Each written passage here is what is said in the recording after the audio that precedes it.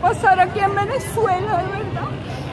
Demasiado triste que uno entregando una palma bendita.